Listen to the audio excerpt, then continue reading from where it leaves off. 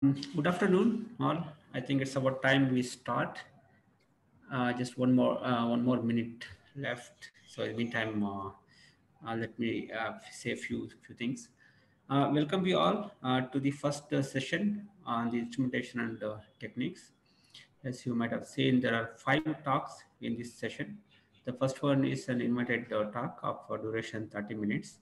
Rest of the talk and giving some time for question and answers. And I'm not sure we'll be able to take all the questions though. Um, I would uh, strongly recommend you to put the questions uh, in the Slack channel also and request uh, the presenters uh, to respond to those uh, questions.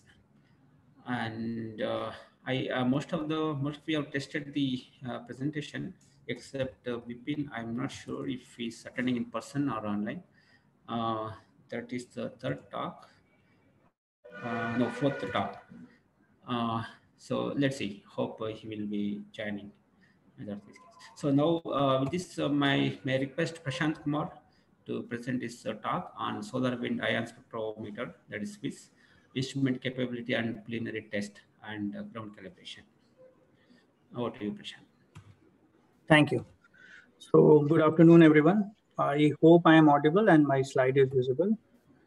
Yes, Uh, yes. so you're. I am Prashant and I'm, and I'm a part of the ASPEX team here at PRL Ahmedabad. So before I start my talk, I would like to thank the organizers for giving me this opportunity to discuss about the payload which we have been developing for the upcoming Aditya L1 mission. Uh, I'll be mostly covering the instrument details, its capability, and some data product definitions for solar wind ion spectrometer, which is a part of the ASPEX payload being developed by PRL. So this will be the outline of my talk. I'll start with an introduction to the Aditya L1 mission as well as the ASPEX payload, uh, followed by an overview of the SWIS instrument, which will be the major topic for today's talk. In this, I'll talk about the design simulation as well as the final realized instrument specification. Uh, this will be followed by the calibration plan for at subsystem level as well as uh, for the complete instrument. I'll be also talking to you about the onboard calibration plan, which we have for this payload, as well as for the cross calibration plan.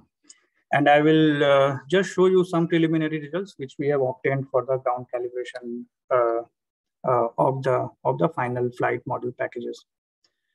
Uh, finally, I would like to spend some time on the operation as well as uh, the data products which this particular payload will generate, in which I will talk to you about the various modes in which this payload can operate, as well as the data product definitions. So coming on to the Aditya L1 mission. So as most of you may be aware that it is the ISRO's first mission to, I mean, first mission which will study the sun comprehensively. Uh, the spacecraft will be situated uh, in a halo orbit around the L1 point of the Sun Earth system, and it is three axis stabilized.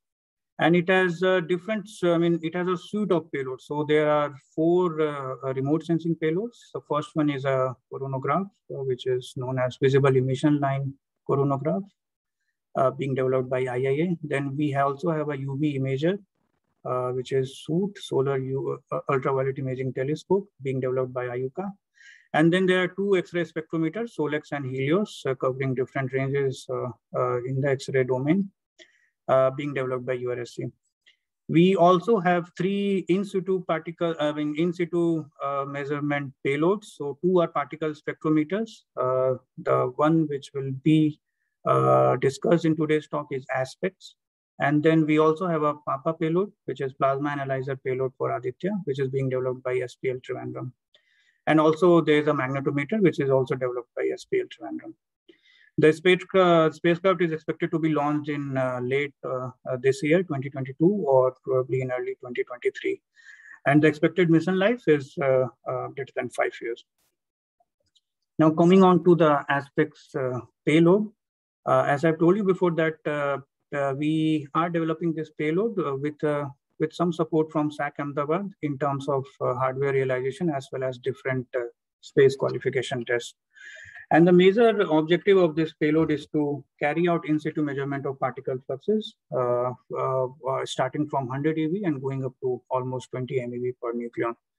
So a typical solar ion spectrum for oxygen, you can see it from the figure on the right. So it uh, almost starts from almost 10 eV and it goes up to almost 100 MeV kind of thing. And uh, the major, uh, I mean, major observable parameters which we will be recording using this spectrometer are the ions which are coming from different energies. So starting from 100 eV and going up to 20 MeV. And we will be doing it in two different planes. So we will be measuring the particles which are coming in the ecliptic plane as well as across it. And there are various, uh, uh, uh like various measurement uh, requirements which we have. So this particular instrument will measure the solar wind directional as well as energy anisotropies by having a multi-directional capability. It will also have a mass resolved uh, capability to separate out the proton and alpha from the solar wind. So it will give us the ratio of the alpha to proton ratio over a very large energy range. And moreover, by having a multi-directional observation, we'll be able to address some of the acceleration mechanism as well as interplanetary process in the propagation of the solar wind. So uh, now to cover this vast energy range, starting from 100 eV up to 20 MeV, this uh, particular um, this, this particular payload has been configured into two different spectrometers. So we have a low energy ion spectrometer, which covers ion energies up to 20 keV, which we call a solar wind ion spectrometer. And this will be the main topic of discussion today. And for the high energy part, we have uh, which is suprathermal energetic particle spectrometer, which goes from 20 keV up to 20 MeV. Now, on to the low energy ion spectrometer, which is solar wind ion spectrometer. Uh, it consists of three different packages, which are the figure, uh, which is shown in the figure given on the right. So it has two sensor packages, THA1 and THA2. So these THAs are uh, basically uh, uh, cylindrical, I mean, hemispherical analyzers and also which i mean tha1 also has a mass resolving capability. Uh, it uses some 16 samarium cobalt magnet to separate out the masses. And both these analyzers uh, require some high voltage bias to be provided uh, in order to operate. So that is provided to a separate package which we call as the hv package which is shown at the base of the tower tower which is shown on the figure on the right now, the uh, uh, the location of this particular uh, uh payload on the spacecraft is shown on the figure, uh, is shown in the figure on the left. So the tower is used to mount both these sensor packages, THA1 and THA2, and this is required just to clear the field of view uh, requirement for both these sensor packages.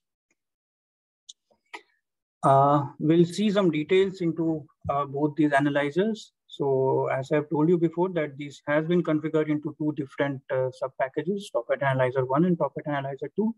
So Top Hat Analyzer uh, 1, as you can see from uh, this figure, actually uh, sits on the top of the tower. So it will scan the particles which will come in the ecliptic plane. And Top Hat Analyzer 2 will come uh, will scan the particles which will come uh, in the plane perpendicular to the ecliptic and uh, uh, the cross-sectional view of this of, of these top analyzers can be seen from the figure which is given on the right bottom. So you can see the various bias, uh, HV bias voltages which we are applying. So uh, we have different kind of bias voltages starting from minus 2.5 kV for electrostatic analyzer. Then we have a focusing grid assembly. And then we have a magnet. And then we have a microchannel plate detector, which again requires a bias of uh, around minus 2.3 kV.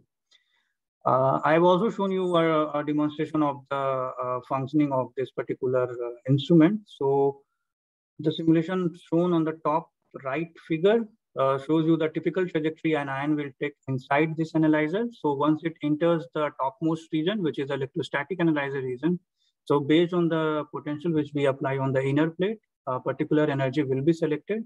It will be passed on to a focusing grid assembly, followed by the magnetic analyzer, and based on the mass, it will be radially deflected inwards. So lighter masses will be deflected more compared to heavier masses.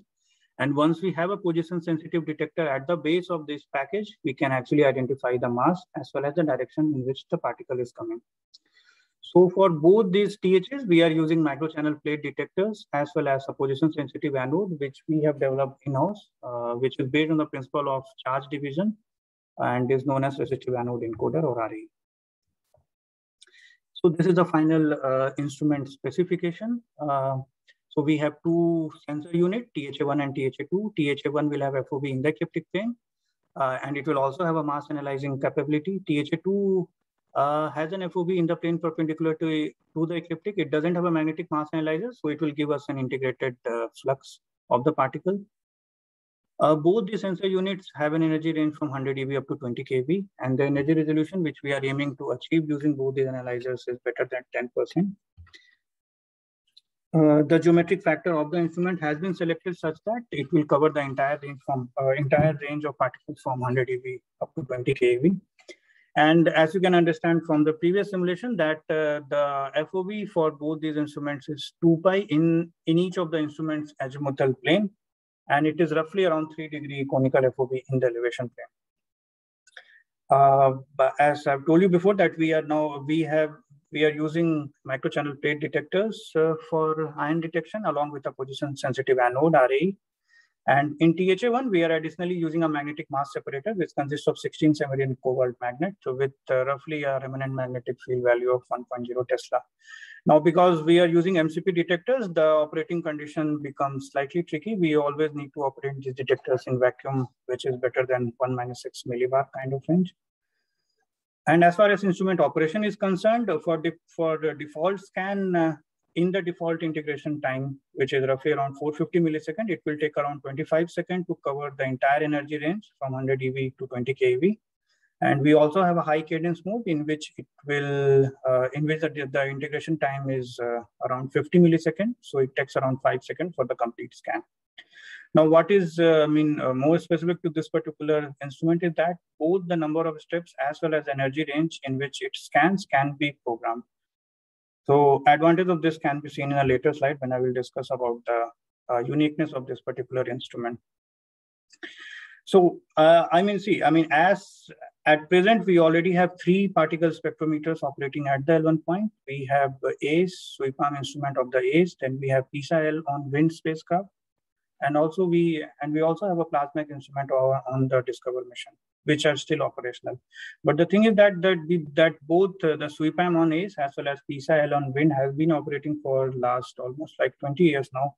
And uh, there is a plan to retire both these uh, spacecraft so the advantage with the SWIS, I mean, apart from the fact that both these instruments will retire, the, the other advantage with the SWIS instrument is that it provides a wider energy and FOV coverage when compared to the existing instruments at L1 point.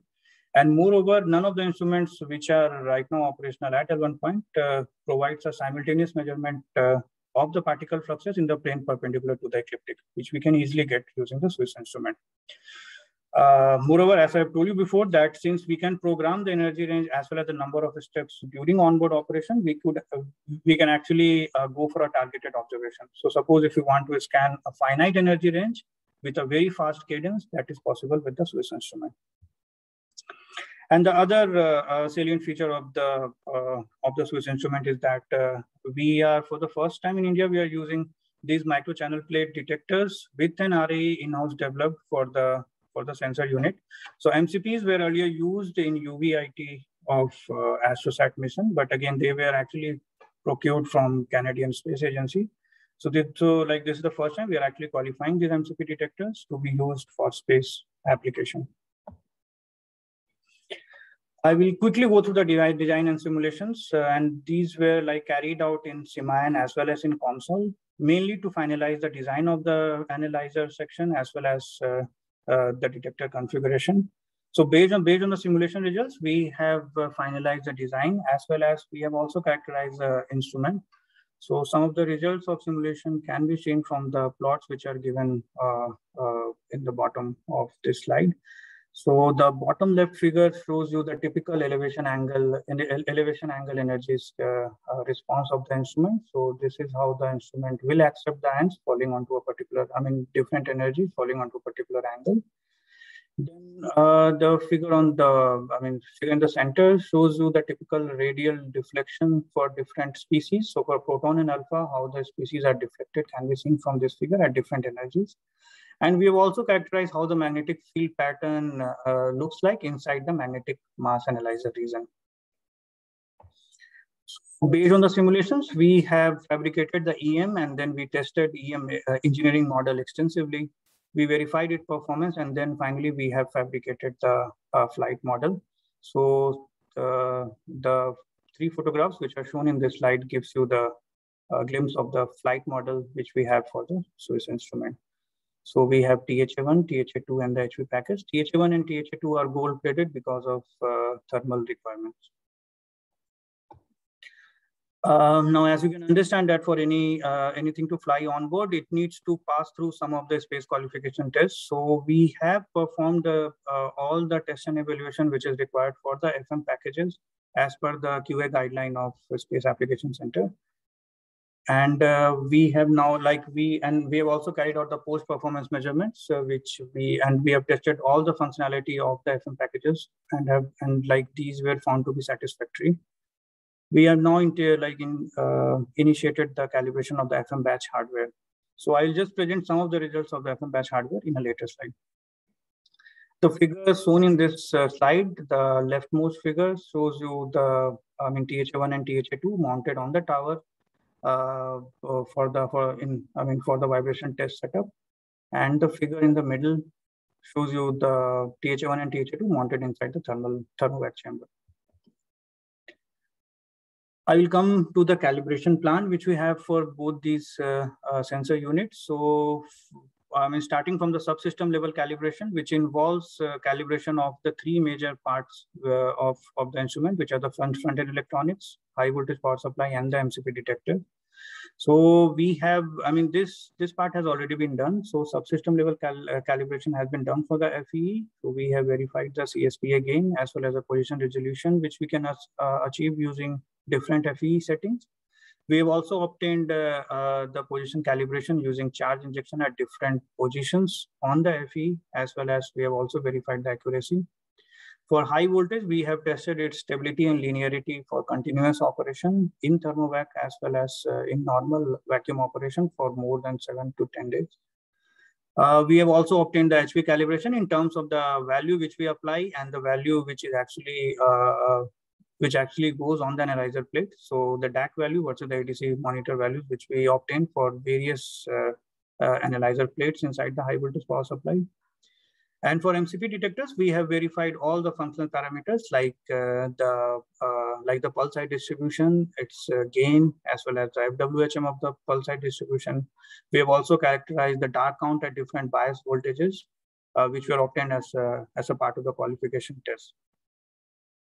Uh, I mean, apart from these three, since uh, magnets were used in THA1 assembly, we have also taken into account any variation which we observed in the pole strength of different magnets. So based on the placement of the magnet, we have characterized how the magnetic field will look like inside the magnetic mass analyzer region.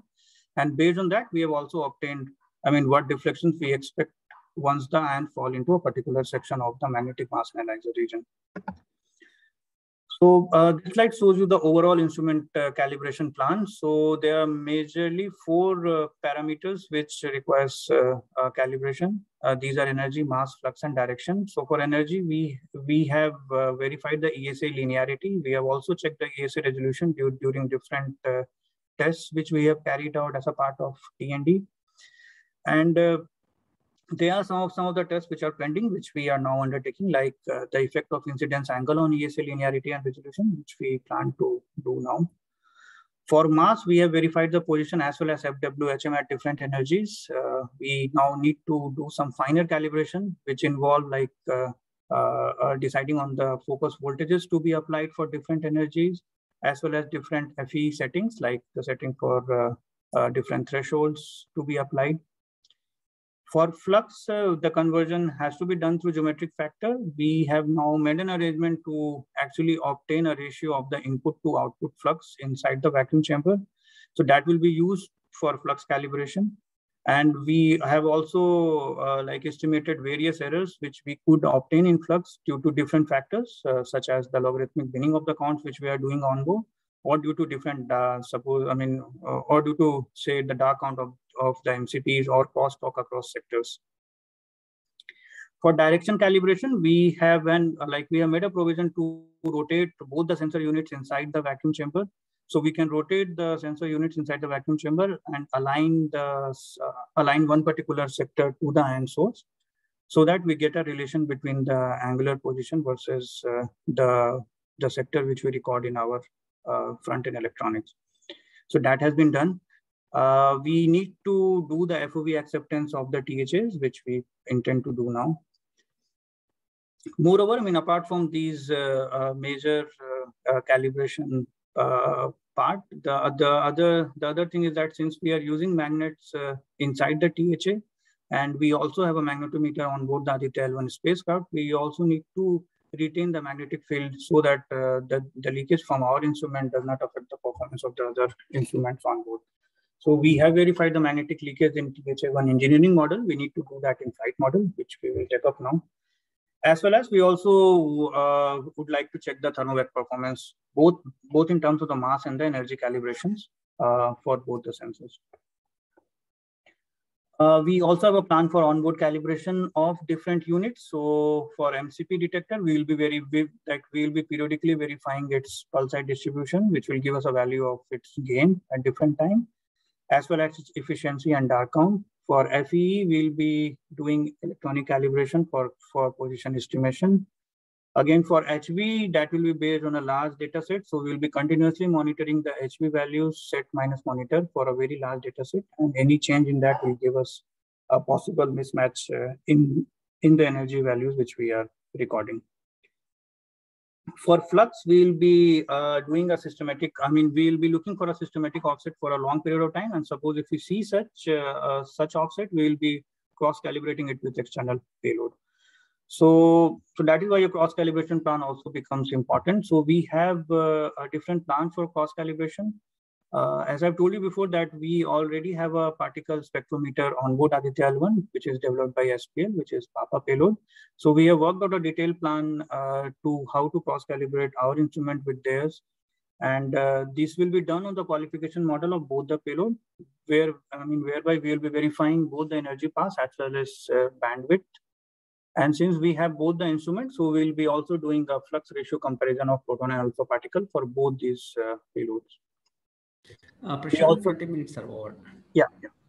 We also have a plan for intercalibration with existing payloads at L1 points, in which you will be utilizing the level two data products of uh, ACE, DSCOVR, and WIND. And, uh, uh, I mean, this will be carried out during the payload verification or the PV phase of the instrument commissioning. We also have a plan to intercalibrate our payload with, a, with an upcoming experiment at L1 point. So NOAA, which is the US Agency for Oceanic and Atmospheric Administration, uh, is coming up with a, a, a, a, future payload, which a future mission on for space weather, which is known as SWFO-L1.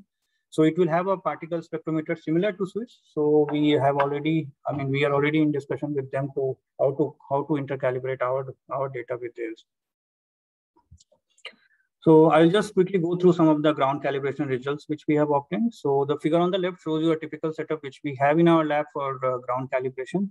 And on the right, you can see the ESA performance at different beam energies. So the topmost figure gives you the pass value of energies at different uh, uh, ion energy once you set the ESA to a particular voltage.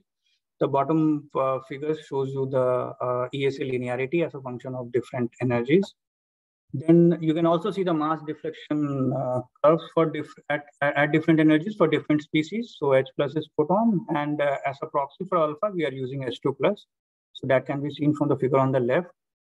And uh, from all these figures, you can see that uh, in our lab spectrum, we always see a huge background which comes due to nitrogen and the H2O plus, which always uh, uh, exists inside the vacuum chamber. So what we do is that we remove remove this contribution, we use the value of the peak position as well as the FWHM of the proton and alpha peak, which we record in our lab spectrum. We remove the contribution of the background and then we generate some simulated spectrum. And based on the simulated spectrum, we then try to fit the, uh, fit the two peaks to obtain the relative flux of proton and alpha. And that has been done at different energies. And the maximum errors uh, which we expect to get in the flux value of proton and alpha are shown in this uh, table, which is shown for different energies. So starting from 100 keV, it is roughly around 8%. For 20 kV, it will be around 17, 17%. Uh, now we'll come to the operation and data product. So uh, this I've already told you that uh, there are nominally two modes of operation of the payload. The uh, default mode in which the integration time is set at 450 millisecond. We also have a high cadence mode in which the integration time is 50 millisecond. And both the energy steps, I mean, typically uh, the default energy steps is 50 So 50 logarithmic steps between 100 eV to 20 kV. But this, but, like this is programmable, so we can change the energy range as well as the number of uh, energy steps which we, which uh, I mean, which we need to scan. And uh, how it is done is that it is it is done through and uh, a, a payload proposal system. So all the observations which will be carried out using the SWIS instrument will be actually based on the proposals uh, submitted through Aditya L1 payload proposal submission system, which will be maintained by ISSDC, uh, which is ISRO Space Science Data Center. So They will maintain and they will host the, this web proposal system. Moreover, the observation time allocation as well as the duration of uh, the payload verification and the guaranteed time phase is currently being developed in the science working group of Aditya L1. So the figure on the right shows you a typical uh, setting and typical values which which we can change during the instrument operation. So you can change the mode of operation, you can change the energy steps, you can change the energy range for both these socket analyzers independently. Uh, coming on to the onboard data generation. So as you can understand, THA1, since THA1 has a magnetic mass separator, it, the, the spectral data size is uh, slightly larger than THA2. So the spectral data is something around 470 cross 6 bit compared to THA2, which is 160 cross 6 bit. And together they generate a data of roughly around 1.3 GB per day. Uh, as far as data levels are concerned, we will have three different levels of data, starting from level zero, going up to level one, level two, and level three. So level zero is the raw data which we obtain from the spacecraft. Level one is the uh, is, is just a reorganization of the raw data. Uh, so we will let's just combine the valid payload frame and then we will derive the UT time from the L0 data. Level two is will be the our energy and direction differentiated counts from L1 data in different mass bins.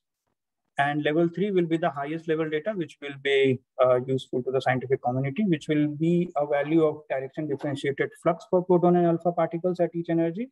Moreover, it will be also having the values of number density and uh, number density of proton and alpha, as well as the ratio and the bulk velocities of proton and alpha particles. Apart from this scientific uh, data, uh, starting from level zero to level three, we also have a near real-time telemetry data uh, coming on from, from the spacecraft, which can be used for space weather forecasting or space weather applications. And the exact mechanism how we will use this for space weather uh, space weather applications is currently being discussed with the project team. Uh, so this is the final slide. Uh, the flow of the data is that we will get the level zero data from ISSDC. And then we have a POC which, which, which we are developing here at PRL. POC is Payload Operations Center, which will convert the level zero data into level one, level two, and level three in different uh, format, in, in, in CDF format. And then that will be provided to ISSDC for archival and dissemination. So the metadata for this CDF will comply with the ISTP and ISCG guideline, which is widely used for all plasma physics experiment on board we have, I mean, uh, right now what we have done is that we have developed this L0 to L1 software and we have tested it on uh, different lab data, which we have generated using the flight model as well as engineering model. Moreover, as far as uh, the instrument uh, attitude orbit uh, uh, determination is concerned, we have developed the instrument the frame kernels and, and all other software elements which are shown on the figure on the right, starting from L0 to development of the L3 science data that are currently under development.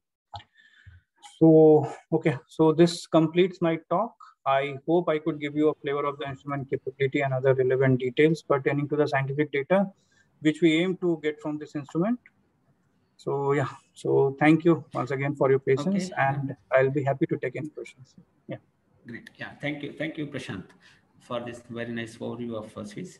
Um, any questions? Uh, so for uh, local participants, uh, please raise your hand. Our uh, volunteers there will take the question. And for online participants, uh, please raise your use raise uh, hand option, or you can type the question also in the chat box. So Naveen and others are there. I hope to take the question. And, uh, so is there any question there? Yeah, there's one question from the chat. Um, okay, yeah, please. Uh, please take the question. Yeah. How is the HV programmatically varied? Okay. Ah, the, from the chart box. Okay. Yeah. Uh, yeah. yeah. Go ahead. Yeah. So um, see, these are the high voltage power supply which we have. The default energy steps are fixed. So we have fixed some 50 logarithmic steps from 100 eV to uh, 20 kV.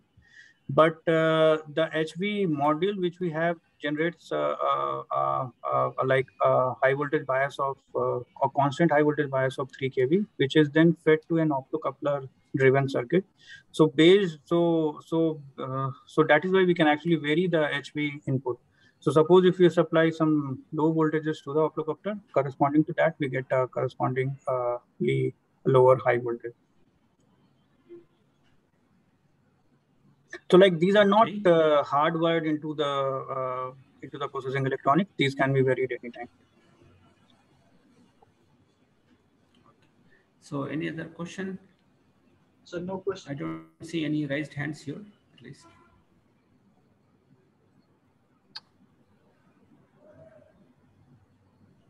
Okay. Uh, yeah. If there's no other question, uh, Prashant, I have a quick question. Can uh, when you said the energy resolution of 10% uh, of THA1, THA2 detector, uh, I didn't follow. What does it mean? Could you please explain a little bit on that? Yeah, so 10% energy resolution means that suppose if we set our analyzer at a particular voltage, suppose if we set it to scan, say, 1 keV particle, so typically mm -hmm. it will mm-hmm. scan from, say, 950 to 1050 kind of thing. So that is the spread which it will allow through the electrostatic analyzer because uh, uh, because the like ESA has a channel width, so it will have a, a sufficient as channel width to allow certain range of particles to come inside. Okay, so for example, if it's 10 kV, it is like another 10% of that. Yeah, yeah, yeah, yeah, yeah, yeah. Okay. So like okay. when I when I say 1 kV, it is 1 kV plus. I mean, I mean 10% about 1 kV. Okay, understood. Okay, yeah. So thank you. And looks like there's no other, no more questions. Um, and if still there are questions, if you could not ask now, you can use the Slack channel uh, to post your question, and I think Prashant will be happy to answer that. Uh, so this, uh, thank you, um, Prashant, and let me invite the next speaker, uh, Mugundhan Jayaraghavan, to present uh, on a HIRAX progress update. Okay, I can yeah. see your uh, Are you able to hear me as well? Yes. Okay, thank you. Uh, good afternoon. I'll just be presenting an update today on. Uh, I'm Mugundhan, a postdoctoral professor at University of KwaZulu-Natal, South Africa. I'll uh, provide an update today on the instrumentation developments pertaining to HIRAX. HIRAX is hydrogen intensity and real-time analysis experiment which is a telescope used to intensely map uh, radiation from redshifted spin flip hydrogen transition. And it is being constructed presently at the Karoo Desert in South Africa. In the, in the bottom, you see uh, an array of uh, uh, institutes uh, around the world that are a part of HIRAX, which funders contribute in kind. And from India, IUCAA is also a contributing member. So without further ado, I'll just get into the talk. So we started the beginning of the universe. So the Big Bang happened after that the universe uh, expanded in a, in, in, a phase of rapid expansion called the inflation. And uh, close to 400,000 years later, uh, we started, uh, the, the, the photons started decoupling from the uh, plasma soup and started escaping out as the cosmic microwave background. And uh, telescopes like Planck, COBE, and WMAP map actually this surface of last scattering. So uh, from the early observations of CMB, uh, if one thing was found, it was that uh, there was a uniform, it, it was always that the temperature was constant around 2.7 Kelvin. And um, it was initially thought to be homogeneous and isotropic. Uh, but after uh, some time when uh, people try to like uh, subtract the monopole component the dipole component and uh, try to like go deeper uh, into into into the fluctuations of CMB, what was identified was that there were fluctuations of the order of few hundreds of microkelvin, a few hundreds of microkelvin, and this when when when when one tried tried to see the power spectrum of these fluctuations, one got a spectrum like what is shown in, in in the bottom right corner and these had very distinct peaks at uh, angular scales of one degrees and uh, and its and its um, uh, harmonics like 0.5 degrees, 0.25 degrees, etc. And so these um, these these these these peaks are thought to like come from some kind of an oscillation which was set up during the period from the Big Bang to the recombination line. So uh, this is mostly attributed to so so uh, during the time of uh, Big Bang and up to the time that we reached the recombination, So what basically happened was like the ions and the photons were actually in a plasma soup and the photon was not able to come out because it was scattered of free electrons and the ions present in that uh, primordial plasma soup. And uh, the, the, the, ions and other baryons were sort of attracted towards, uh, uh attracted to form clumps due to uh, some kind of gravitational contribution, gravitational uh, force was provided by the dark matter, while the photons were trying to like restore this back so that like, so, so, so this set up kind of oscillations which were acoustic in nature because there was a, a perturbation in the density of the of the matter present there. And uh, during the recombination, when uh, uh, when when photons were able to decouple successfully from baryons and escape out as CMB, these actually got frozen into uh, the time scale from uh, the inflation uh, time scale from the Big Bang up to, up to the up to the recombination, creating these kind of structures called the structure called the BAO. And the scale size of this BAO is like constant uh, like uh, wherever we see them uh, all the all the way across the.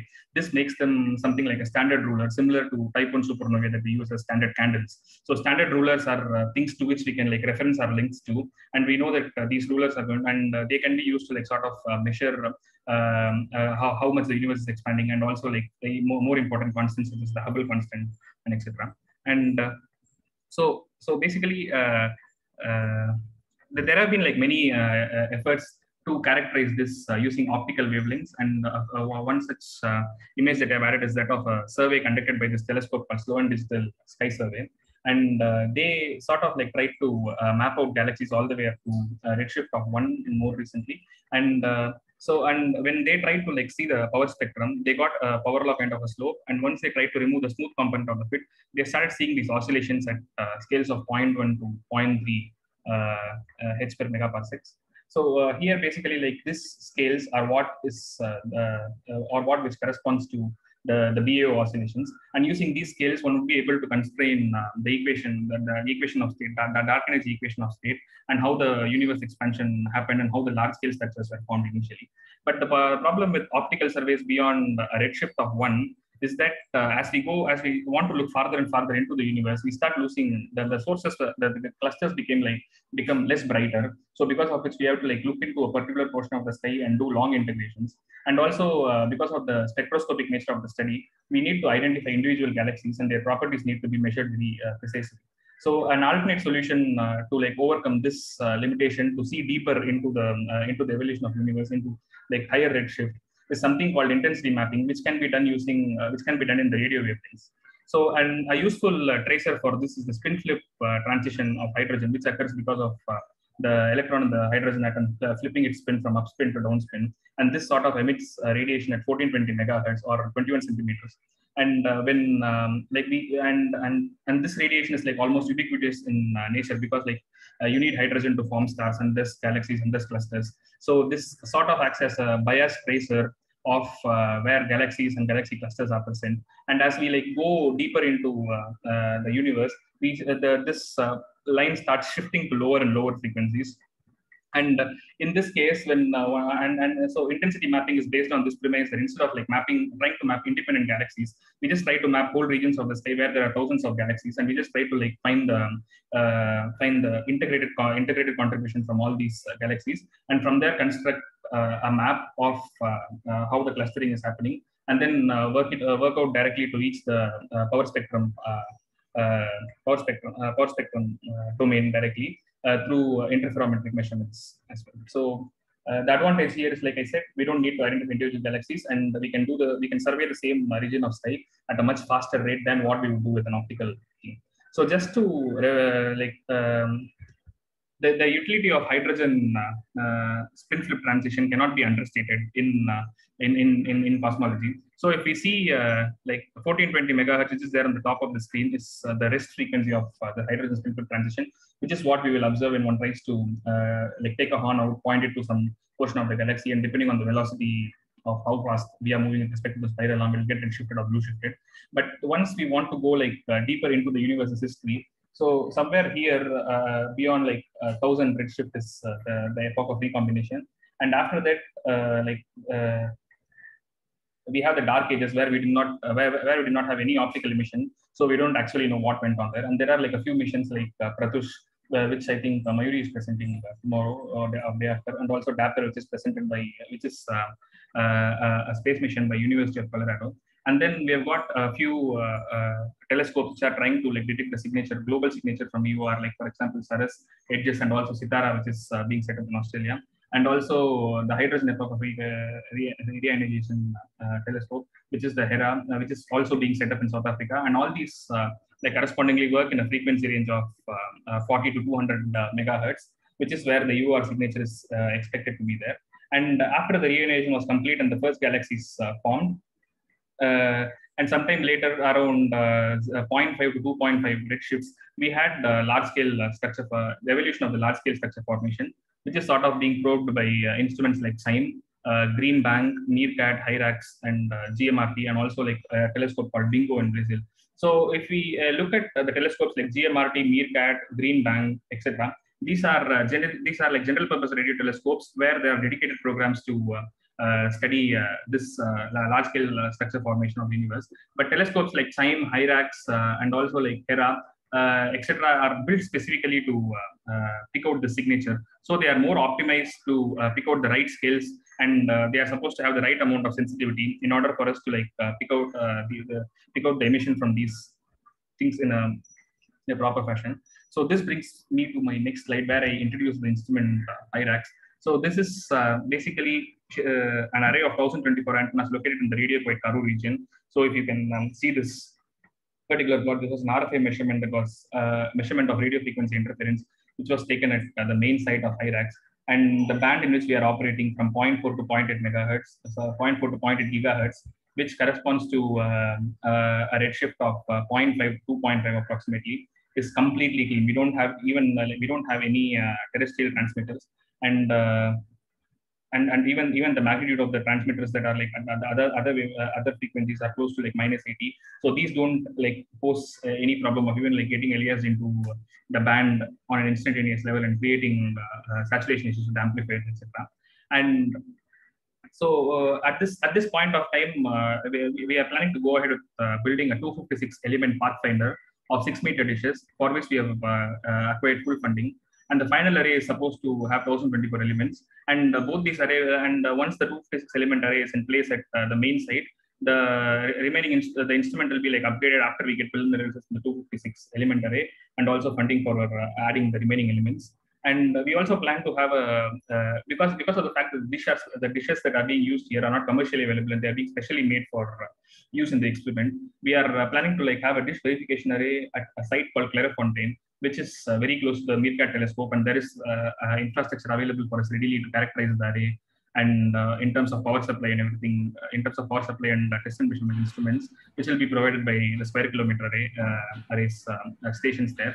And uh, yeah and like i said the main aim of the array is to uh, uh, measure the signature of uh, baryonic acoustic oscillations and use that to constrain and use that to like place constraints on uh, the dark energy equation of state and ancillary goal is to like use this array to uh, search for frbs and do some pulsar timing with it. So i'm good than 10 minutes are up. Oh, okay, thanks. uh, so, uh, so here I just show the uh, sky coverage of HIRAX, and here we basically see that we cover almost the entire southern sky, and we also have quite an amount of overlap with other experiments like DESI, uh, uh, dark energy survey, and uh, and, and, and, millimeter experiments like ACT Uh, these two plots in the bottom are just the angular scale and the frequency separation. So frequency separation is there is um, important to measure the line of sight component of the scale variation, and the angular scale is important to measure the uh, plane of sky uh, component of the variation. And we see that uh, HIRAX is well equipped to like sample both um, sufficiently.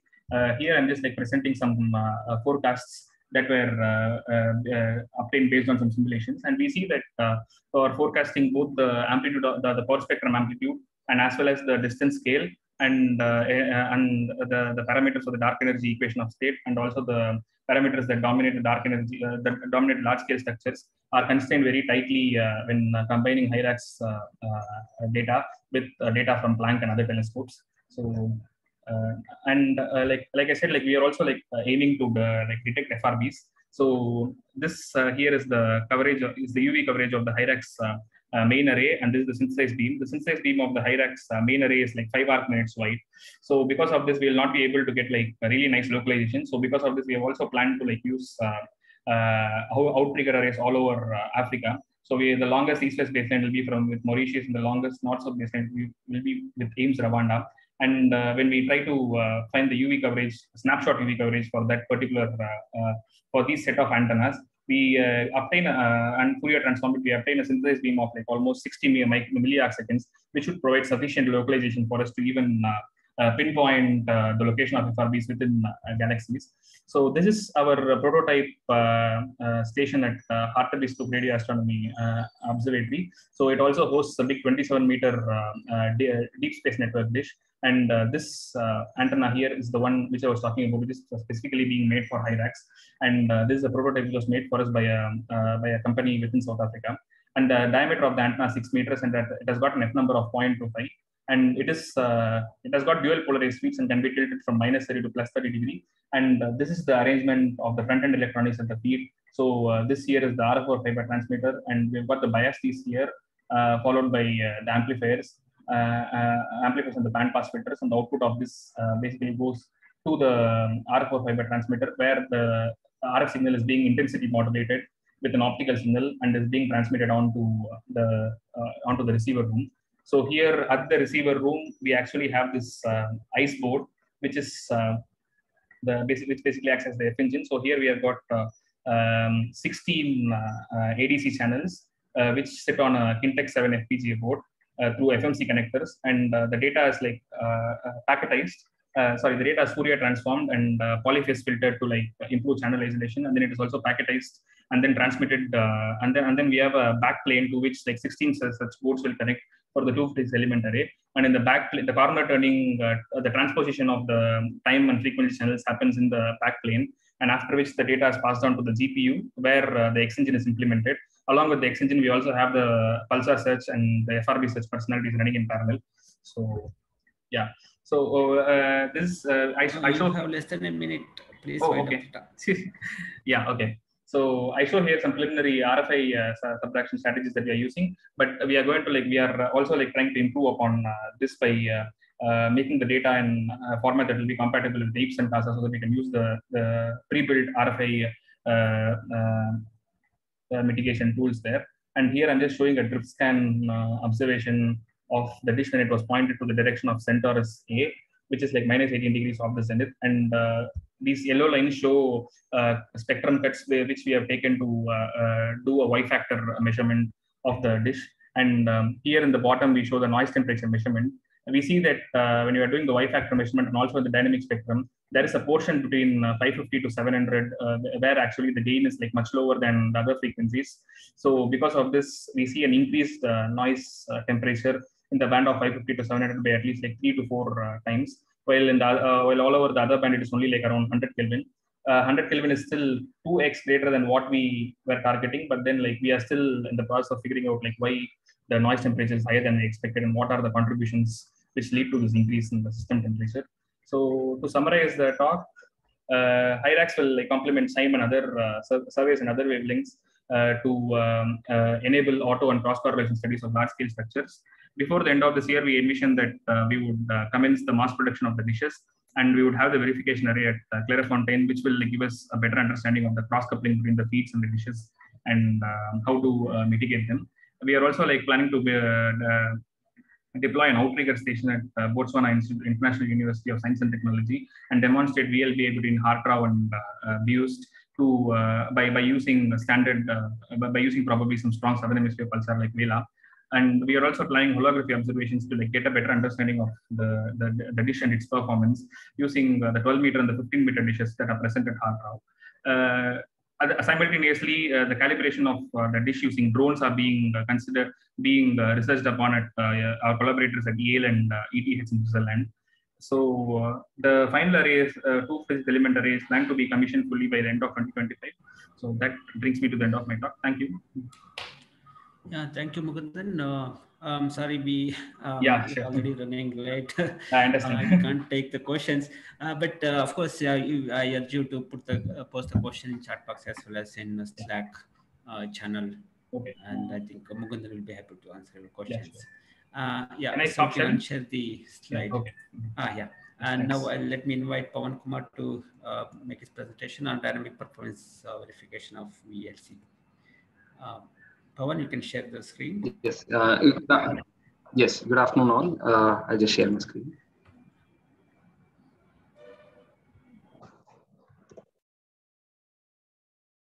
Yeah, I hope I'm audible and uh, my presentation is a full, full screen. Uh, yes, yes. Yes, yeah. Good afternoon all. Uh, myself, Pawan Kumar, and uh, today I'll be presenting about the dynamic performance uh, verification of uh, VLC onboard Aditya L1. So uh, basically this uh, VLC onboard Aditya L1 is an instrument uh, dedicated for the solar study at uh, multiple wavelengths. So this presentation uh, gives an overview of the lab model, which we had built for qualifying for various environmental tests and how it was constructed uh, and the major difference between the uh, lab model and the flight model. The finite element analysis, uh, which was which was done for the lab model, and the overall test environmental test conducted, and the final results, which was uh, related. So the image bottom image shows the uh, uh, open view of the VLC payload. Uh, next, uh, uh, basically this VLC lab model consisted of 18 optomechanical assemblies, four detector DHAs at four different channels and four baffles, one, two primary baffles, one secondary baffle, and one exit baffle and the overall uh, volume uh, of this uh, payload was 1.7 meter in length and 1.1 meter in width and 0.5 meter in height. And the major thing what which was given to us was all these subsystems should be having a global stiffness of more than 200 hertz and payload as uh, as such uh, with all the subassemblies should be more than uh, 100 hertz um, and basically this payload is mounted on uh, eight lugs, aluminum lugs, which will be mounted on satellite interface. And uh, uh, this uh, subassemblies uh, uh, in general was totally experience was experienced to sine, acoustic, and random vibration, where sine underwent uh, the vibration covering a band of 5 to 100 hertz, and acoustics and random uh, covered a band of 5 to 2000 hertz. And basically, we had built a mass inertia model of uh, aluminium uh, built from AL6061T6, complete model. Uh, uh, it, it, was, it was one is to one scale as a flight model. Uh, this was to basically evaluate the load spectrum, uh, which it is going to experience in the final flight. And this resonance frequency, which was extracted from the test after the test, was mapped with the analysis result and which was closely matching. I will explain the overall comparison. And after the sine, uh, acoustic sine and random, uh, the integrity of the payload was tested uh, uh using uh, uh, alignment cubes by our optics team. I will explain that also in thorough in the next slides. So this is a basic comparison. I will give a major comparisons here. The left model, what we are seeing here is the lab model, which was mass inertia model, which was built out of aluminum AL6061. And this photo was taken in Professor M.G. Menon lab. So basically, as I had explained, uh, the opto optomechanical bench, optomechanical assemblies, and side covers, uh, everything was in general built from aluminum. Whereas in real case, in the flight model, uh, various components are uh, being deployed, such as titanium and Invar uh, for uh, structural elements, and in optical for optical, Zerodur, NBK7, and other optical materials used. And and in terms of the major change, what we had done was the primary mirror mount uh, initially the configuration when before the uh, maturity of the design this, uh, there were three bolt configuration to mount it to the optical bench. But in the flight model uh, currently it is a five bolt uh, uh, configuration which we will see in the latest slides what were the what this difference had in the had an impact on the final test. And overall the mass was there was a mass difference of 60 kilograms whereas in the lab model it was close to 90 kgs. The final flight model is around 150 kgs so there, uh, there was an expert committee uh, formed uh, for uh, uh, preparing this uh, lab model for the environmental tests. Uh, and the major suggestions are as follows. Uh, in flight model, there are only there are uh, self-locking helicoils, which is a like foolproof method for for all the space applications where the bolt doesn't get loosened and get freed. But whereas in the lab model, we had only normal tapping on on an aluminum bench. So the committee suggested that we'll go with an SS bowl with a split washer and uh, a drop of Scotch-Weld uh, that with the EC2216 so that the bolts doesn't come off. And the second one was to check the integrity of the model. Uh, two alignment cubes was uh, deployed uh, inside the payload, not inside the payload, one inside the payload and uh, one on the optical bench. To be precise, one on the backside rear of the primary mirror mount and one on the optical bench. A correlation was built in between these two alignment cubes. And post the vibration test, this coordinates of the coordinates was of the optical alignment cube was checked, and the final results was summarized. And nextly, coming to the actual test, there was a vibration fixture uh, of 1.8 meter length and 1.5 meter width of 40 mm thickness vibration fixture was designed and uh, realized. Uh, we can see the analysis at the right side uh, image. Uh, it was having a good frequency of more than 200 hertz.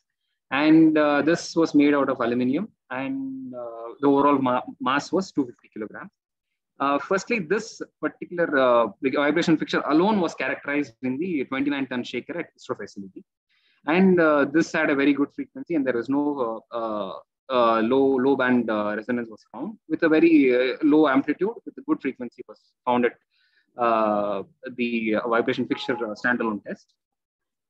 And now these are the series of 15 tests which was conducted on the lab model VLC model. Uh, starting the three tests are low level acoustic test and uh, qualification test and low level acoustic test. There are two tests you're seeing as a repetition that is to map the signature. What are the what is the pre and post of uh, the qualification levels? And consecutively, there were uh, three uh, three tests done uh, at all axes: uh, X, Y, Z. That is roll, pitch, and yaw. Uh, now these are the test specification which was given by ISRO. the left two columns are of random vibration. One is for on axis, other for off axis. at the right, we are seeing the sine vibration inputs. Uh, we can see uh, the spectrum frequency spectrum is 5 to 100 hertz for sine. For, uh, for random, it is for, from 20 to 2000. And random at qualification level, we ran it for 10 G uh, uh, with a, a, sweep rate of 2 octave per minute. And at uh, out of axis, we ran it for 5 G for 2, two, two octave per minute. So uh, there were a massive uh, 58 number of accelerometers which was mounted uh, in and out of the payload.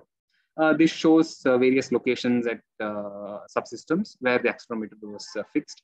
I'm showing at the left top is the isometric view, and at the right we have the plan view, and at the bottom we are showing the cover enclosed view where we had had a couple of accelerometers on the cover also.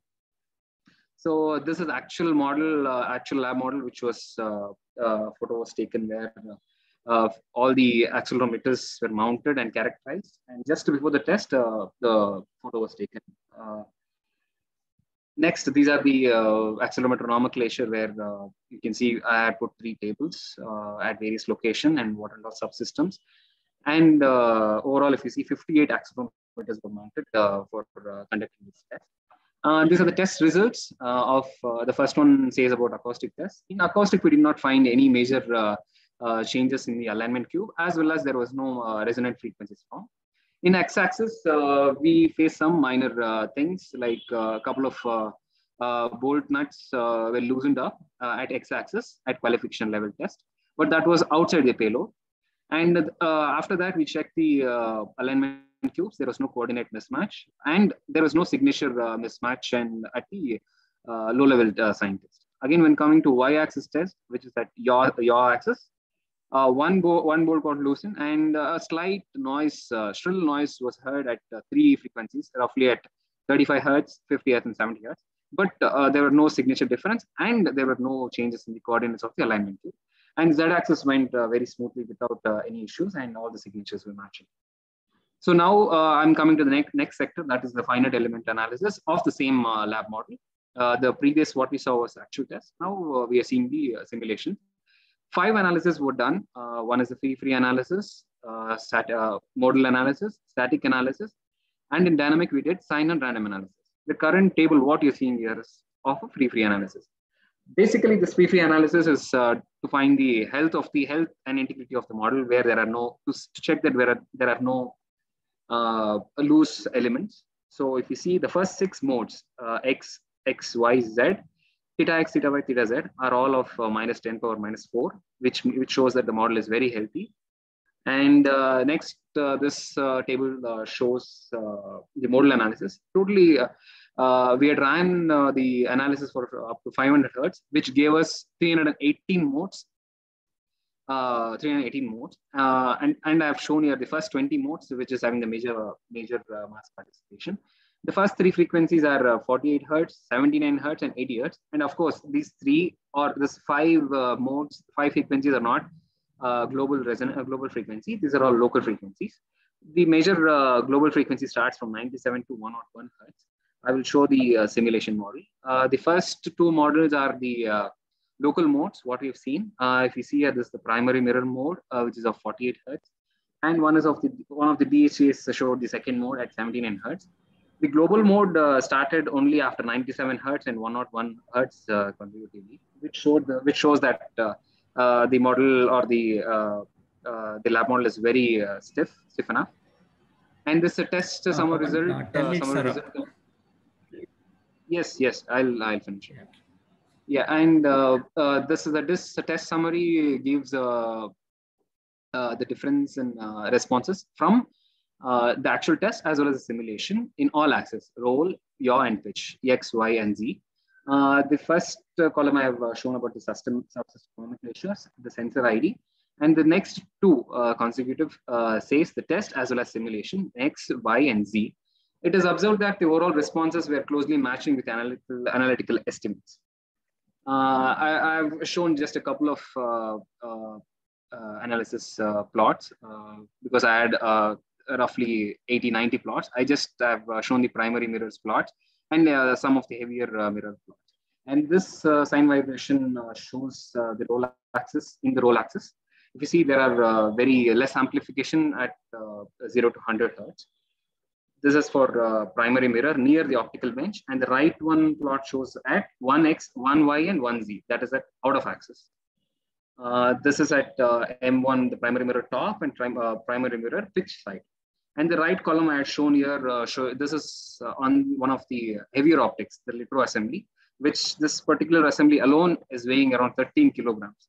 So this is the output plot of the litho assembly. And this is at yaw axis at same M uh, primary mirror Y, YZ directions. And one more plot on continuum and linear scan mechanism. I had shown on one of the mechanisms over here, which you see uh, the response are uh, very, uh, very, very negligible. Uh, one and finally on the uh, pitch axis, that is on the Z axis. I'm showing it on the primary mirror mount and one on the IR detector. So finally, after the the lab model test and the verification on the FE analysis, we came to we have come to a conclusion that the resonant frequency of uh, the analysis and the tests are very closely matching.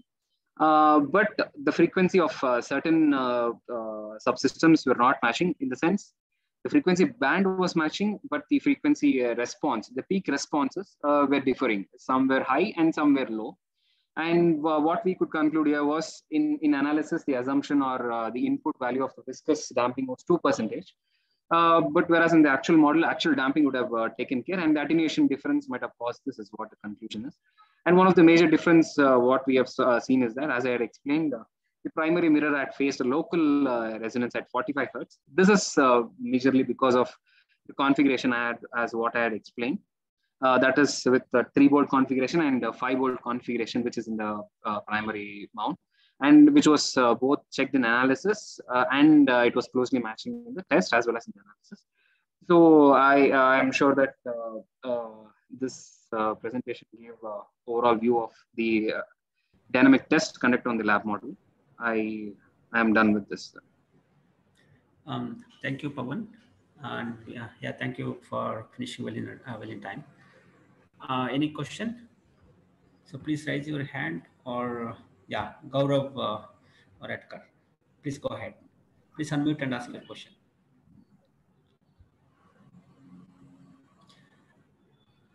Hello. Hi. Uh, now I am able to unmute myself. Uh, thanks for yeah. Okay. So uh, great talk. Thanks for it. Just curious, what was the reason behind the noise that you heard at those three frequencies you mentioned briefly in the uh, in one of your slides? Yes, yes, yes, yeah. yeah. The answer, uh, say, uh, if you see, there was some uh, uh, primary baffle, which is a slender member, which is very thin. Uh, we concluded that there were uh, two possibilities. One in the primary baffle, you could have heard the noise, and one the uh, cell level, the the mount cells we have. that is a very flimsy, flimsy. what do you say?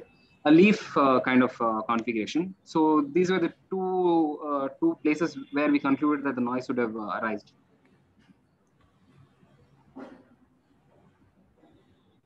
Okay. Uh, any any question uh, uh, local in the auditorium? Naveen or other volunteers? Don't have anything. Okay. Okay. So any other question in the online participants from the online participants? Okay. Looks like I don't see any other raised hand or question typed in the chat box.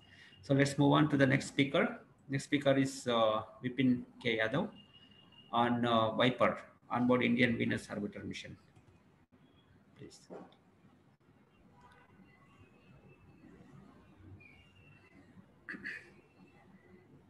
Okay, we can see your screen. Yeah, it is in translation. Yeah, you can start. Uh, you can hear me, right? Yes, yes, we can hear you. Yeah. So, uh, uh, good afternoon, all, and uh, thanks for to the organizers for uh, giving me this opportunity. I I feel sorry for the audience. I wanted to attend it in person, but uh, actually I'm not in Trivandrum. I'm at, I'm at Chennai now. There was some uh, unavoidable work uh, that has come in between.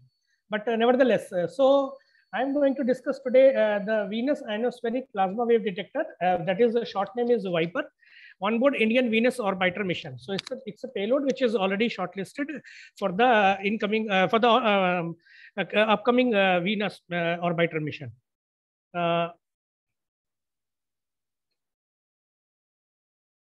Yeah.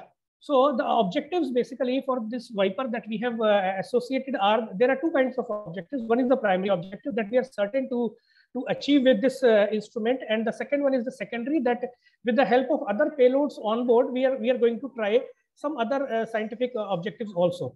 So the first one is to study the plasma phenomena uh, that is uh, going around Venus by explore, exploring it in, in, in prevailing localized means uh, you, you have an ionosphere, but the plasma extend well beyond ionosphere and the, some of the phenomena that we are going to try to see with this particular instrument are actually not localized in ionospheric itself.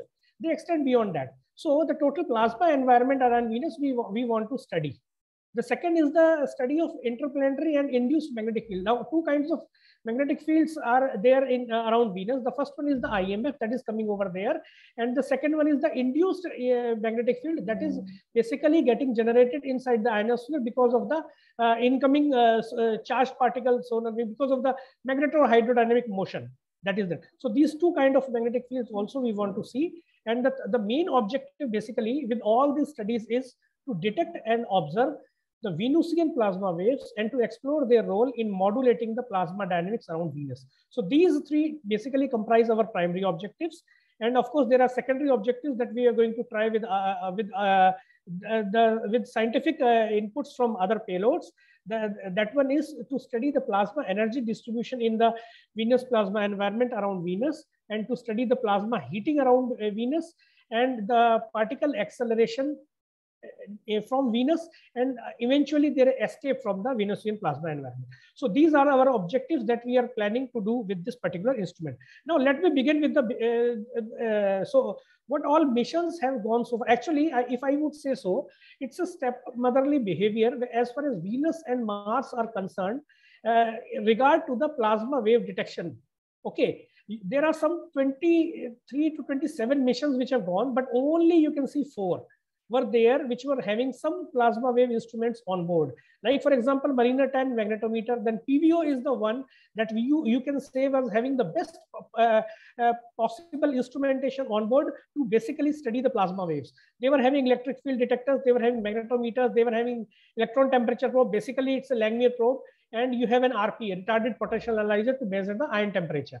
So otherwise, you can see Venera only magnetometer was there, and of course Venus Express also only magnetometer was there. There were some other supporting instruments also which I have listed in this last column over here.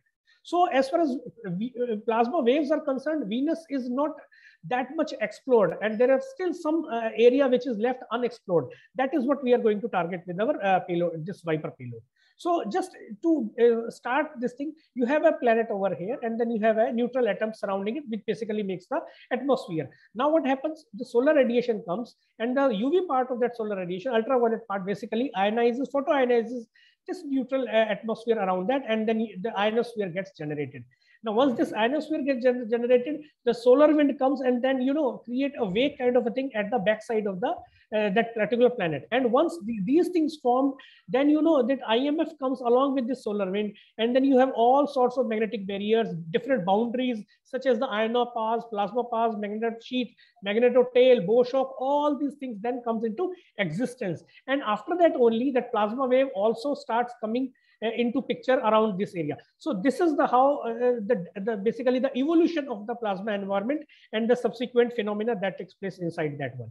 So then what happens is that plasma waves, why, what, what are they and why they are important basically? Any planetary body which is having an ionosphere in which the plasma density is in the range of 10 to power, that means 1000 to 10 to about a million per centimeter cube. If it is this kind of a density is there and a plasma temperature of around 0.1 eV, we in plasma physics, we basically uh, designate the temperature by electron volt. One electron volt is equal to 11,600 Kelvin. Okay, so if this kind of plasma environment is there, you can have plasma waves around that. Now they're observed in almost all the solar system objects such as the sun, the planets, planetary satellites, interplanetary medium, comets, etc.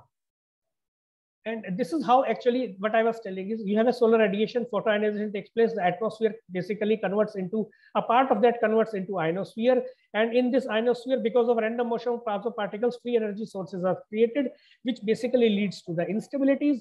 And instabilities uh, uh basically means the, uh, the non-linear build, energy buildup inside the plasma and the plasma when the plasma is not able to hold on this excess of energy it, it relaxes by releasing the extra energy which basically comes out in the form of plasma waves. So why these plasma waves are significant?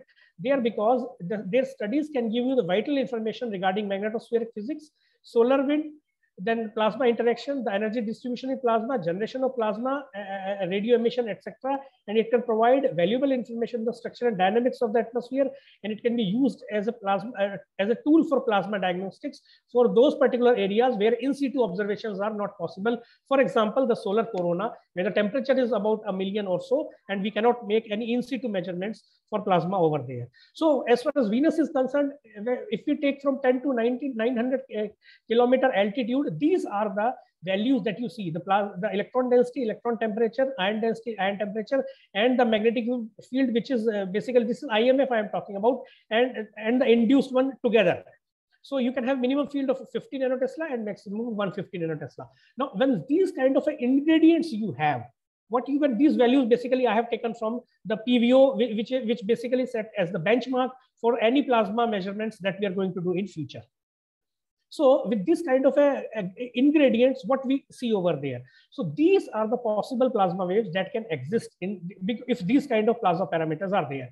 You can have Whistler waves, you can have lower hybrid waves, you can have ion acoustic waves, you can have Langmuir waves, you can have proton cyclotron waves, electron cyclotron waves, ion cyclotron waves, and mixed mode waves. And these are the species, basically the waves which with their species which they are associated like electron, ion, ion, electron like that, and their nature, whether they are electromagnetic or electrostatic or quasi-electrostatic. So these are the possibilities that we have to look for, uh, for as far as plasma waves is concerned around Venus. And what has happened so far? The present scenario is something like this that Whistler, lower hybrid, ion acoustic, Langmuir, and proton cyclotron. These all are observed. And the, the year and mission is uh, put over here, and the instrument which were used to detect these waves is put over here. So what is left with us? The bottom three.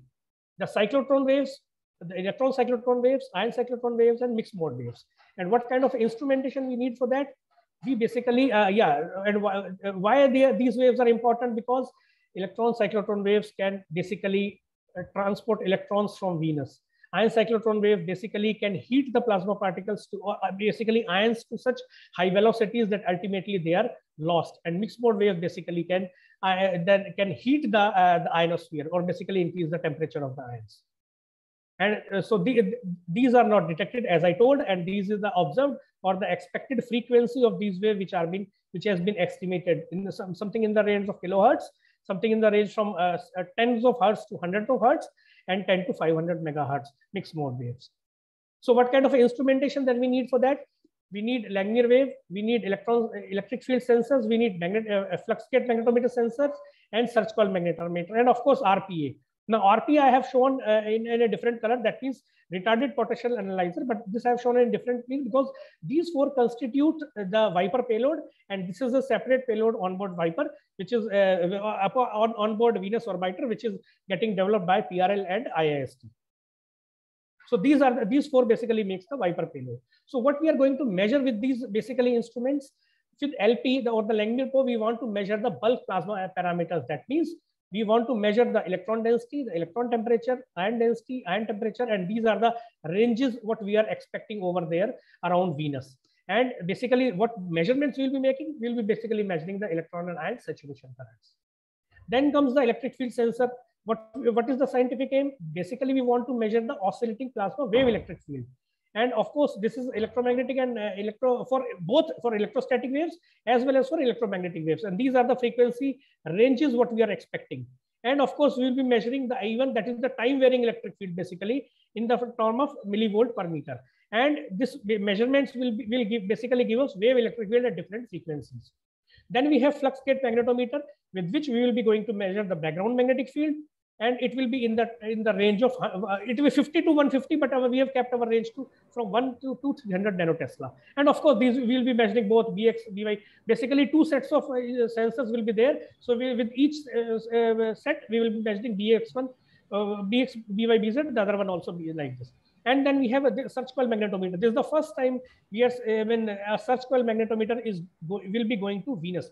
Nobody has sent it so far. And what we are planning to do with that, with that we'll be measuring the oscillating plasma wave magnetic field for the electromagnetic wave only. And these are the ranges, and this is the expectation that we have. And uh, like I said earlier, with this we'll be measuring the wave magnetic field, which is uh, oscillating in time. Uh, so what is the unique? Sure, sure. I, am I'm, I'm going to finish within four slides. Okay. Yeah.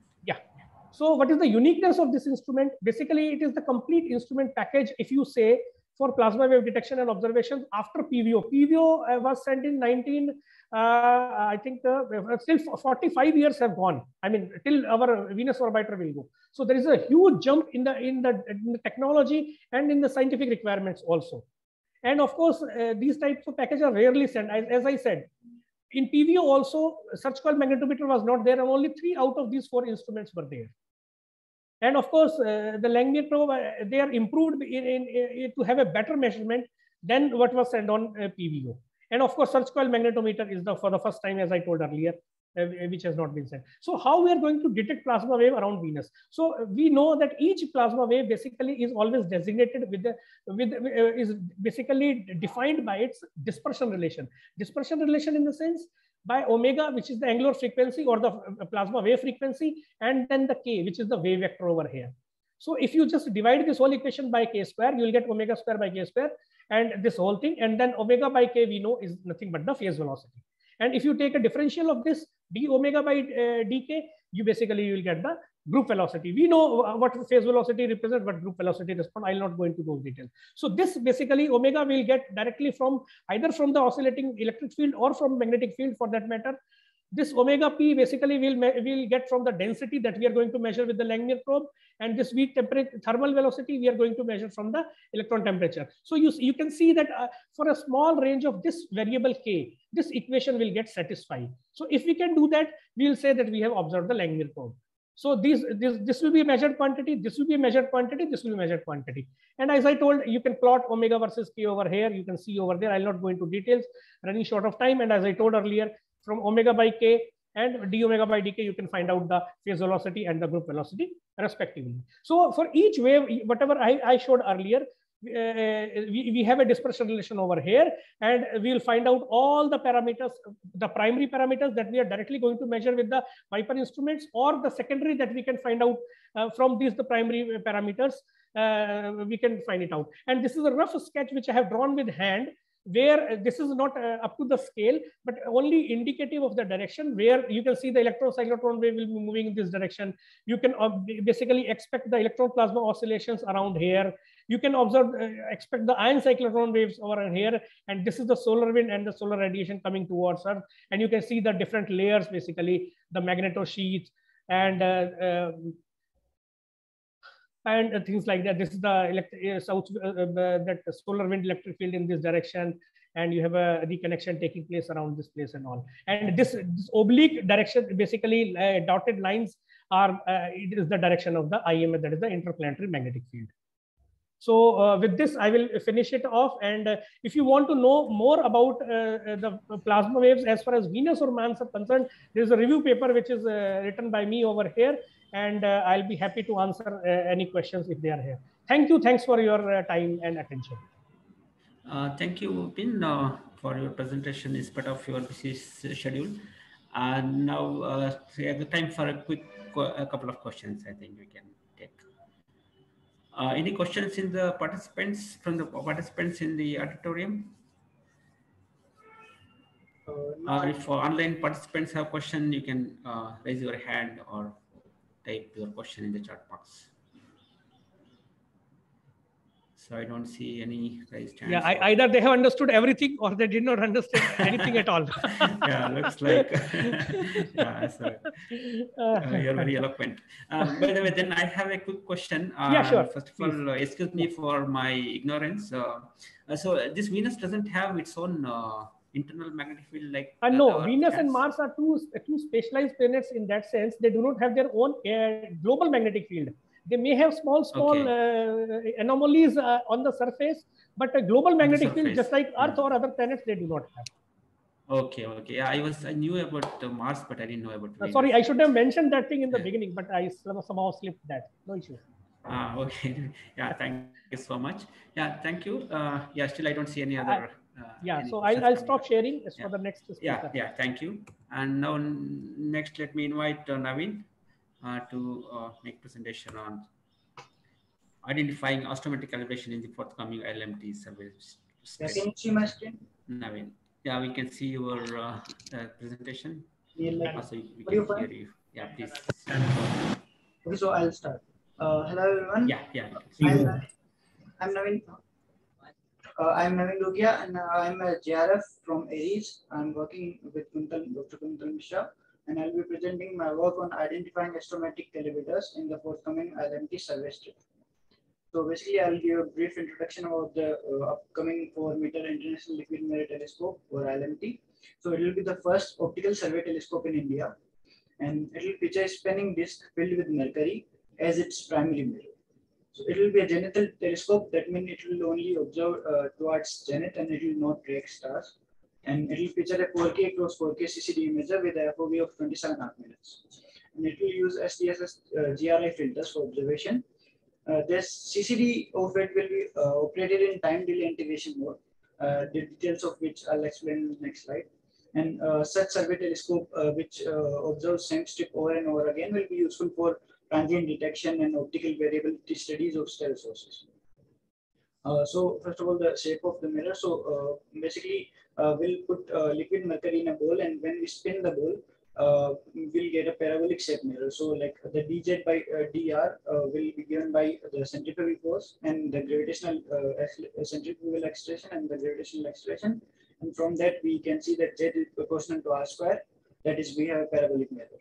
And the focus is given by this equation. So the time delay integration. In the time delay integration, what we do is basically uh, as uh, the Earth rotates, the uh, source will shift from one column of pixels to the next column of pixels. So we, in the CCD readout, we transfer that charge from one column of pixels to the next column of pixels in sync with the Earth's rotation. So uh, as the source moves, moves over the CCD, we'll get effective exposure of 102 seconds. Uh, now, one thing before I move forward is also that uh, we need to take account uh, into the uh, precession of the ILMT strip. So, uh, ILMT is supposed to run for like 10 years. So, during this 10 years, due to the precession of the Earth, the area of the sky that uh, ILMT will scan will slightly change. So, here in the right hand side, the plot is given in J2000 coordinates. So, the blue line is the mm, area of sky it will observe in 2021 and the uh, magenta line is the area of the sky observed in, uh, in 2031, so it will change slightly. So uh, to cover all of this, we have basically chosen a 54 arc minute wide strip in which we'll find the astrometric calibrators. So uh, mm, uh, the strip is indicated by the dashed line. uh, you can see one dotted line also. So the dotted line is from a previous work that was done by Mandal et al. 2021. So they presented a quasar catalog that was supposed to be used for the astrometric elevation of ILMT. But uh, from our calculation, we see that this strip width is not sufficient for the astrometric elevation. So I'm in motivation. So our aim is to present a catalog of objects from Gaia EDR3 data because of their um, great uh, astrometric accuracy and that will be used for the astrometric elevation of images that will be observed by the uh, ILMT. And uh, we cross-match Gaia sources with SDSS and uh, PS1 also to achieve the following goal. So first of all, uh, for astrometric purposes, it will get rid of the spurious sources and we'll also have the multi-band photometry of these sources from SDSS uh, because uh, we have equivalent filters, it will be useful. Additionally, we can derive secondary products from this catalog like a photometric catalog, uh, photometric elevation catalog after removing the variable sources. So that can be done as a different exercise. So I use data from three catalogs. So first of all, I use data from Gaia satellite. So it's a space-based uh, telescope by the ESA. It uh, provides accurate, uh, most accurate, probably I should say, uh, astrometric parameters, RA, DEC, parallax, proper motions, and radial velocities of celestial objects. And uh, we have only chosen sources with parallax less than 10 milliarc second and proper motions less than 20 milliarcsecond, so that the sources does not move over the run time of ILMT. And we have cross-matched data with uh, Sloan Digital Sky Survey uh, data release 17, that's the latest data release now. And uh, SDSS has been mapping the sky for many years, primarily in the northern hemisphere. Uh, it has photometry in UZR bands, and it also has spectroscopic observation from around 1% uh, of the sources uh, uh, as actually SDSS does not cover the sky homogeneously. So for some area of the sky that does not cover like in our region of interest, uh, we also uh, cross-matched Gaia with uh, PanSTARRS, which uh, so PanSTARRS has uh, surveyed 3 5 steradian sky, and it also uses the GRI filters, and we use this catalog wherever SDSS does not cover the sky. So I'll go over the cross-matching procedure now. So first of all, let's uh, this is example of a typical field. So A is the star we are trying to cross match. Uh, so first of all, we select all the stars, all the sources uh, that are in a rectangle of uh, half width 2.4 uh, arc seconds. So uh, that will be like the star one and two. Then we propagate position and the covariance matrix. That's the position and like RA Dec and the errors associated with it of the Gaia source to the epochs of the each source. So whatever sources we find in this 2.4 uh, arc second uh, uh, wide uh, rectangle, we basically uh, uh, see when they were observed and we move the, we use the proper motion available in Gaia to move the position of A to some other position in A prime. and their errors are also increased slightly a bit because of the errors in the proper motions. Now we calculate the angular distance between the new position of the Gaia source and secondary catalog sources. So if we have at least one source that's closer than two arc second, uh, then and it also uh, fulfills the good neighbor criteria that I have explained in the next slide, then we say that uh, it is a cross match. So here uh, one would be cross match of the A, uh, A star. After all the cross matching, we have applied to additional filters. So we have only kept sources that has I value magnitude between 16.5 and 22 that are the bright and faint limit of the ILMT respectively. And we have also removed Gaia sources that were close matched to the same secondary catalog source. Because Gaia has angular higher resolution, uh, we uh, believe like uh, these might be binary sources that were resolved in Gaia but not in SDSS. So these might throw the astrometric uh, calibration off. Now the Goodneighbor criteria. So this is basically a probabilistic uh, cross-match uh, criteria. So errors in astrometric catalogs are basically represented by error ellipse. So you can see the red and the blue error ellipse.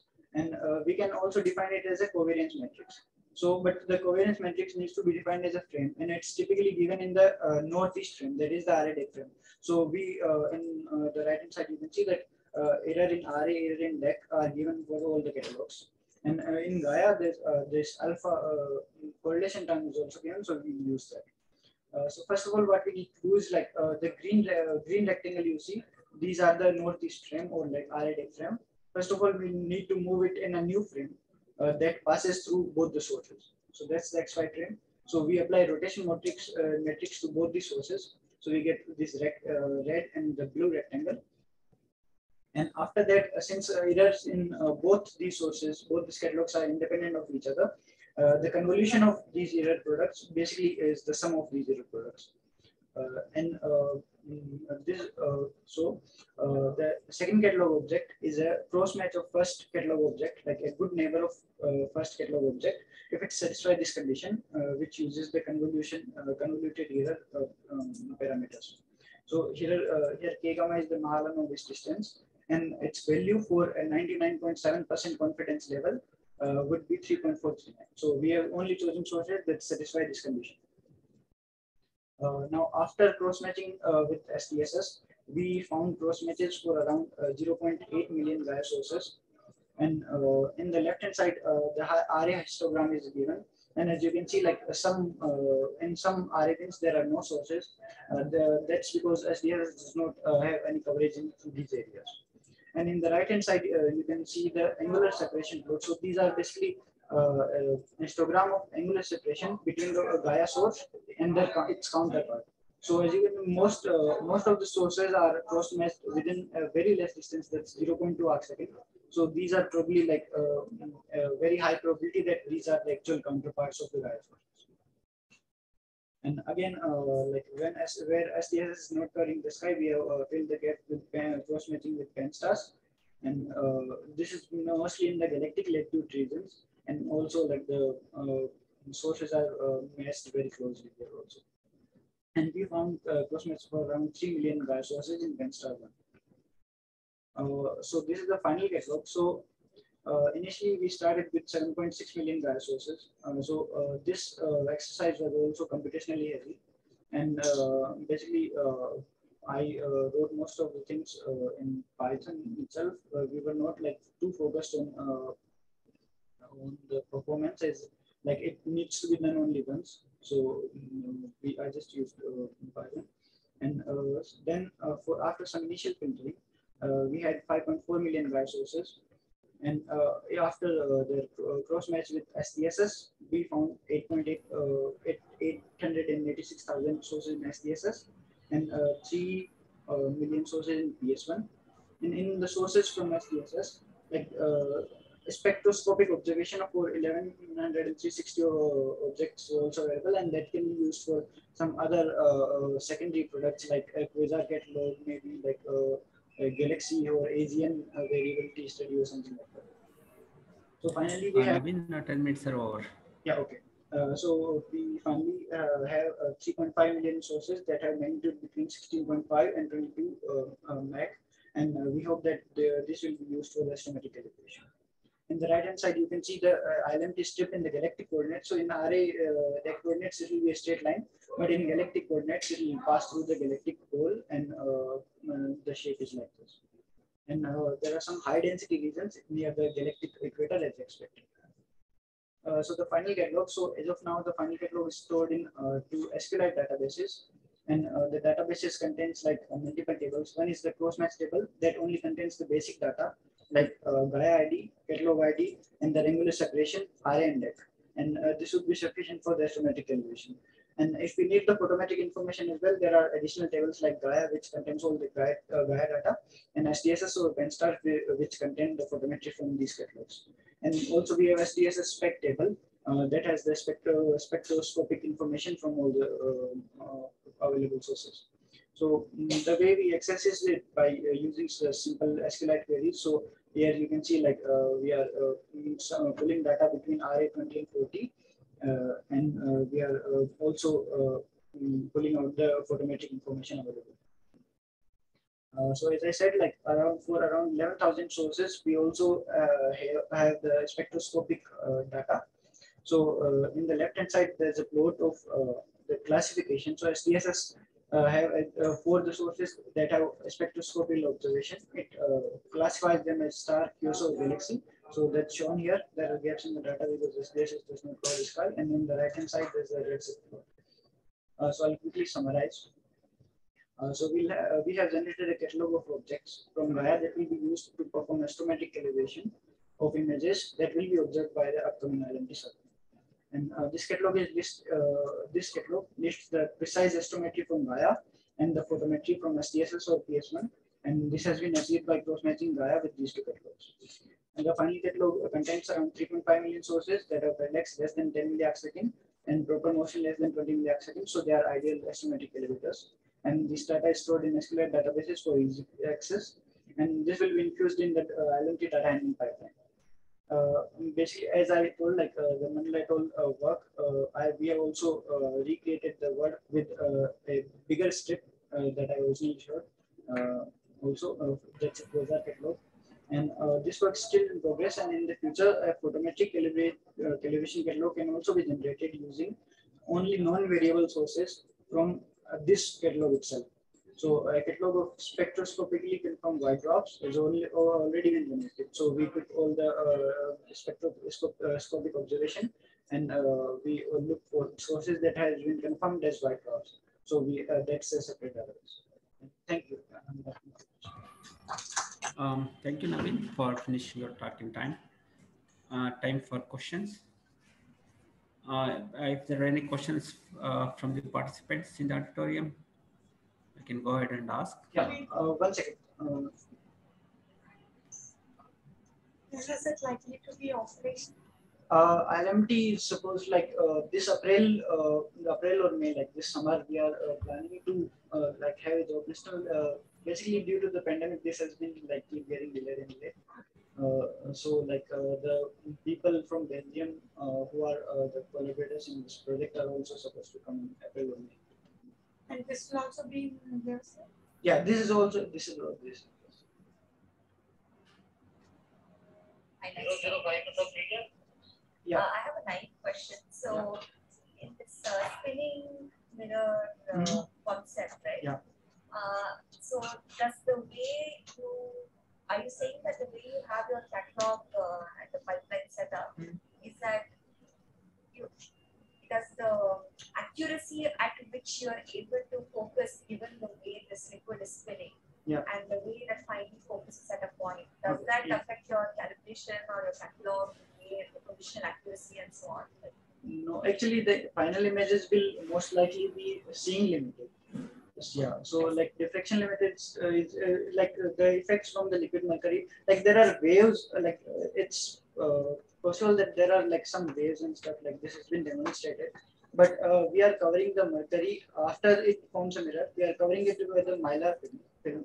So only uh, wind turbulence and stuff like that is like uh, uh, like uh, so that's why like the focus images will start. It's uh, actually been tested like uh, some liquid mirror concept has been.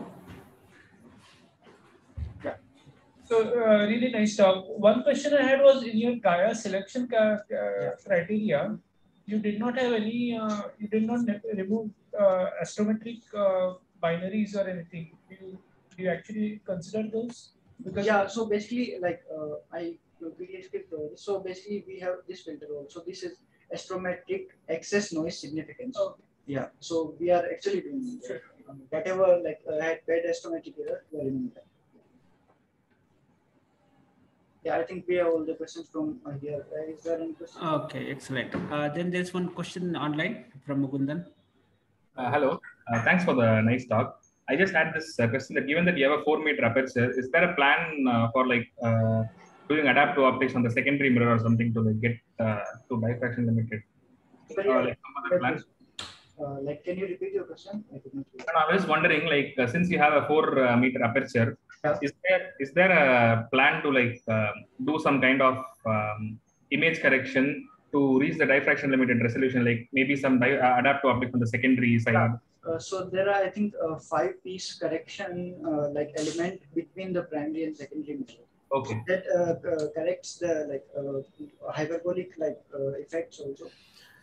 And uh, Okay. Okay. Okay. Thank you.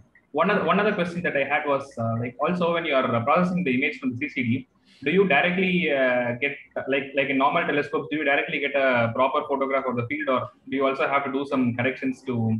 Because I think the liquid uh, mirror, the mirror, the, the liquid which is making the mirror's primary is going to be rotating uh, at a certain speed. So do you have to correct for those motions of the primary mirror? Yeah, no, actually, like at the end, the uh, mirror is formed, and it's like uh, there might be some wind disturbance, but as I said, like we cover it with a like very thin layer of mylar film, so like there are not any disturbances. And uh, like the PSF shape is uh, um, basically the um, uh, difference will be like it will have a different different type of PSF than like traditional telescope. So like uh, there's basically a very uh, sharp uh, feature on top of a broad feature. That's the shape of its PSF. Uh, but other than that, like there will be no uh, like uh, corrections needed. Okay. Okay. Thank you so much. Okay, thank you. Uh, any other question? Okay, looks like there's no other question online. And uh, thank you, Naveen, again. And uh, yeah, this with this we come to the end of this uh, session. And thank you all. Thanks all the speakers and also the participants online as well as in-person uh, participants. Thank you so much.